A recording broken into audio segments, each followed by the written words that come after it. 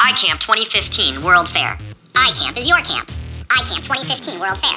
Why are all these people Why are dressed so all these people fancy dressed so smancy? fancy? It is time for iCamp 2015. It is time for the World Fair. It is iCamp is your camp. iCamp 2015 the World Fair. Sign up now before it's too late. iCamp 2015 World Fair. The past, the present, our future. Have you heard of a World Fair? Do you like to innovate, explore, and create? Then iCamp 2015 is for you. iCamp 2015 is an innovative and exploratory week-long camp for all students in grades entering first to entering seventh grade.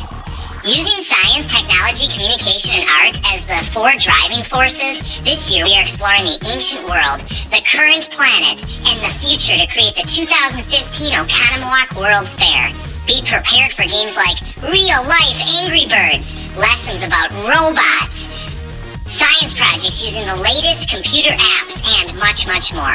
This is both a hands-on and digitally enhanced learning experience. Students will research, design, build, and create all week long.